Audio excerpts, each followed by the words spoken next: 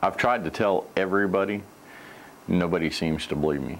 So hopefully somebody out there can understand what's going on because I'm racking my brain. Last night I, I was upstairs sleeping and the dogs, they start barking, which not, you know, anything unnormal.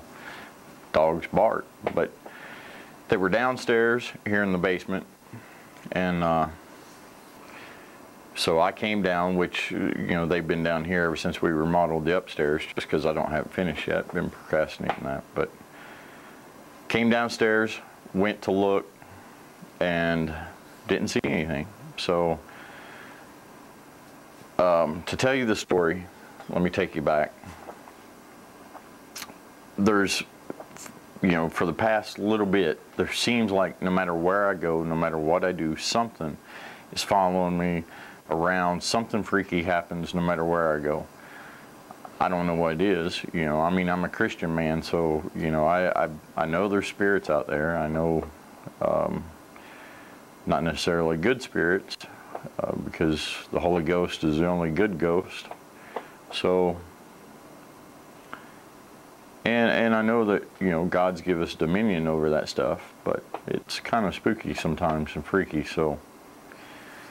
Uh, anyways, I didn't know. I, nobody, you know, every time I tell my wife, she's like, eh, yeah, yeah, yeah, whatever. So it's all in your head. But I, I decided I'm going to tell YouTube uh, because this morning, after I got up, and well, I'd went all day really. I never went through the backyard or anything, so we'd went to the flea market and so forth. But I just came home a little bit ago and I walked outside to look out back because I'm getting ready to mow and the pool that we shot it that was in Redneck Rave is um, it's all pulled up and the tarps that were under it to keep you know the rocks and stuff from getting up is uh, gone.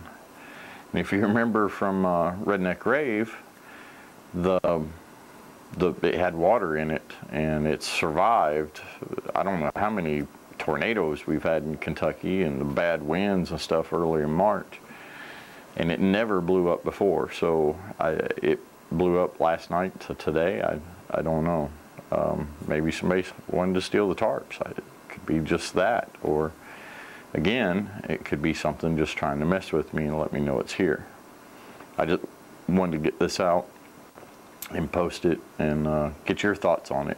So uh, this is day one of video log. I'm gonna try to keep a record. I'll try to get it on video. I'll want to prove that, you know, I'm not going crazy. So whether you think I'm crazy or not, stick around for day two.